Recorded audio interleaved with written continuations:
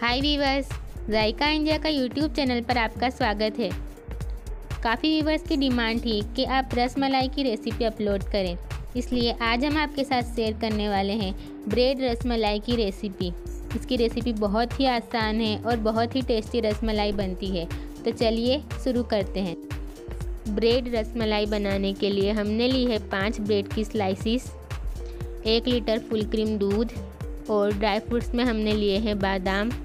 काजू, इसी के साथ हमने लिया है एक टीस्पून वेनीला कस्टर्ड पाउडर एक चुटकी केसर हाफ़ टी स्पून छोटी इलायची का पाउडर और पाँच टेबलस्पून चीनी।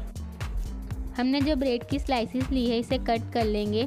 इसे राउंड शेप में कट करने के लिए हम इस तरह के ढक्कन या फिर छोटी कटोरी का इस्तेमाल करेंगे। हमने इस तरह से राउंड शेप में इसको कट कर लिया है। हमने ब्रेड की एक स्लाइस में से ऐसी दो स्लाइसिस बनाई है, यानी कि हमने टोटल दस स्लाइसिस बनाई है। अब ब्रेड का ये जो बचा हुआ हिस्सा है, इसका इस्तेमाल करके हम ब्रेड क्रम्स बना सकते हैं। इसका इस्तेमाल करके ब्रेड क्रम्स कैसे बनाएँ, इसकी वीडियो भी हम जल्द अपलोड करेंगे। हमने जो एक लीटर दूध लिया है, उसे इस तरह के हेवी बॉटम पैन में ट्रांसफ़र कर लिया है। अब हाई फ्लेम पर इसमें एक उबाल आने देंगे। एक उबाल आने के बाद हम गैस की फ्लेम को लो कर देंगे और इसमें ऐड करेंगे कस्टर्ड पाउडर का दूध में बनाया हुआ घोल। हम इसमें थोड़ा सा ऐड करेंगे। अच्छे से मिक्स कर लेंगे।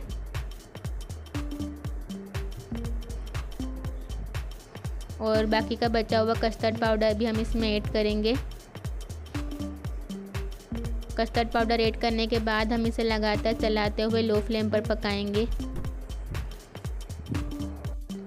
यहाँ पर कस्टर्ड पाउडर ऐड करना बिल्कुल ऑप्शनल है, लेकिन जब हम इसे ऐड करेंगे तो हमारा दूध जो है वो जल्दी से गाढ़ा हो जाएगा और हमें दूध को ज़्यादा रिड्यूस नहीं करना पड़ेगा। और अब इसे अच्छा सा कलर देने के लिए हम इसमें ऐड कर देंगे एक चुटकी केसर। अच्छे से मिक्स कर लेंगे।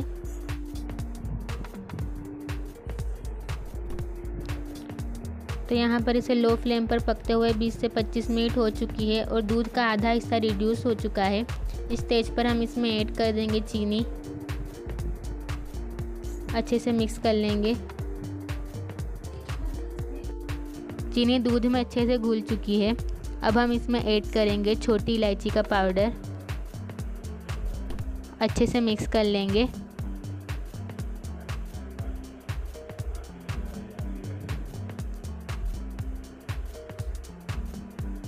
इसी के साथ हम इसमें ऐड कर देंगे ड्राई फ्रूट्स हम यहाँ पर बादाम की आधी क्वांटिटी ऐड करेंगे और आधी क्वांटिटी को गार्निशिंग के लिए रखेंगे और काजू पूरे ऐड कर देंगे. आप यहाँ पर पिस्ते भी ऐड कर सकते हैं. अच्छे से मिक्स करने के बाद हम इसे लो फ्लेम पर पाँच मिनट तक और पकाएँगे. तो ये बनकर तैयार है. अब गैस की फ्लेम को ऑफ़ करके इसे रूम टेम्परेचर पर कुछ देर के लिए ठंडा करेंगे. हमें इसकी कंसिस्टेंसी को कुछ ऐसा रखना है. हम इसे ज़्यादा गाढ़ी नहीं करेंगे क्योंकि ठंडी करने के बाद ये थोड़ी सी और गाढ़ी हो जाएगी।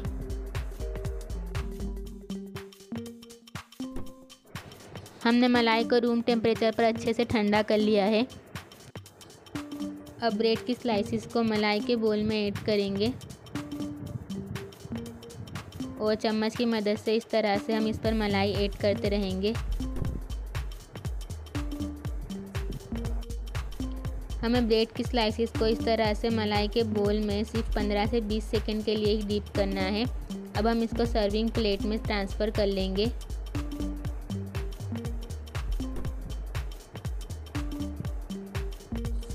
और चम्मच की मदद से इस तरह से इस पर थोड़ी सी मलाई और ऐड करेंगे। और इसे ड्राई फ्रूट से गार्निश कर लेंगे।